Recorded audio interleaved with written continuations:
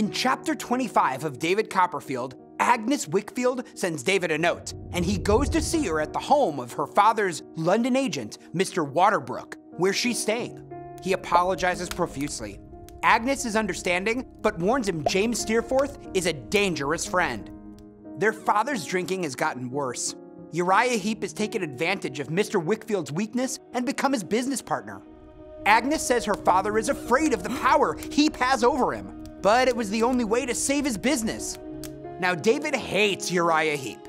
Agnes urges David to try to be friendly for her father's sake. The next day, David attends a dinner at the Waterbrooks home, where he meets his old school friend, Tommy Traddles, who is studying to be a lawyer. Throughout the boring dinner, Uriah Heep keeps lurking near David. David invites Uriah back to his room for coffee. Uriah talks of his partnership with Mr. Wickfield and suggests he might one day marry Agnes. David controls his rage with difficulty. Uriah asks to sleep in David's living room because the place where he's staying locks the doors early. David spends a restless night dreaming about running a hot poker through Uriah. After Uriah leaves in the morning, David tells his landlady, Mrs. Crupp, to air out the room.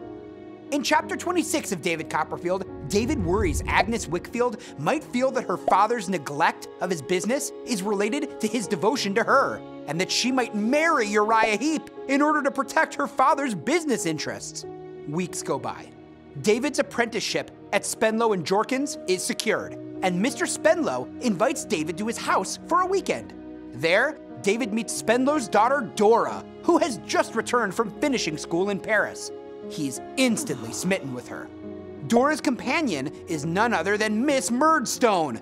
David says she and her brother treated him and his mother unkindly, but he agrees to a truce. The next day, David walks in the garden with Dora and her little dog Jip. And after, he hopes for another invitation to Mr. Spenlow's house, but nothing comes. Mrs. Crupp advises him to keep a good heart and to know his own value. In chapter 27 of David Copperfield, David visits Tommy Traddles, who's renting a room in a rundown neighborhood. He finds Traddles happy, working hard at his law studies, and he's engaged.